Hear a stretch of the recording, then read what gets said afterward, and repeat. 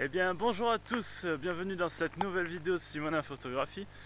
Euh, ce matin je vais chercher une, euh, une caméra que j'ai laissée dans la forêt, une caméra piège de piégeage photo. Euh, je l'ai mis hier soir dans un coin sanglier qui est pas mal du tout, donc là on est dans la montagne noire. Et je vous amène avec moi, on va voir s'il y a eu du résultat. je pense que le coin il est assez propice à, ça. Il y a des traces, il y a, il y a des beaux bains de boue et tout, tu vois. Donc euh, le résultat devrait être assez sympathique, donc je vous prends avec moi et on va aller voir ça ensemble.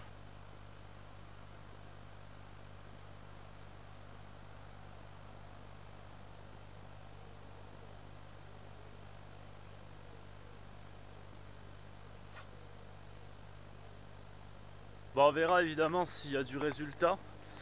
Euh, c'est une petite caméra que j'ai payé vraiment pas cher qui fait euh, la vision de nuit, qui fait détection automatique évidemment. Et euh, donc tu me diras en commentaire si ça t'intéresse que je te fasse une vidéo dessus euh, pour te la présenter parce que je pense que ça va intéresser pas mal de monde. on est sur l'ordre d'une cinquantaine d'euros, même pas pour la caméra. Donc voilà, si ça vous intéresse plus, dites-moi le en commentaire, comme ça je pourrai savoir. Allez, on arrive sur place.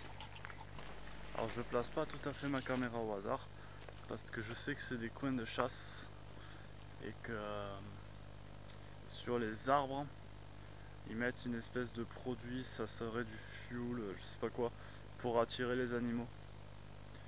Donc euh, tu le sens en fait, tu sens, euh, je l'ai senti du chemin en haut, ça a une espèce d'odeur de barbecue, de sauce barbecue, ça donne faim même et du coup euh, ça les attire sur ce secteur là alors je sais qu'ils s'en servent pour euh, pour donner à manger aux animaux dans la clappe euh, où c'est plus sec ils leur mettent un point d'eau. Mais ici c'est pour leur donner à manger. Et il y avait du maïs par terre et tout le maïs a disparu. Donc je pense que il y a eu du passage cette nuit ça a été gratté. Et on va voir la caméra de suite. Ça a bien été gratté là tu vois. J'ai la caméra qui est juste là Il y a un truc que j'avais pas pensé, j'ai mis une feuille dessus. la feuille. Juste, mais elle est toi-même, alors mes piles sur la caméra, quoi. Je suis dégoûté. on va voir, hein, ça empêche pas de marcher, mais bon. Peut-être qu'elle a marché avant. Euh, je suis une grosse brêle.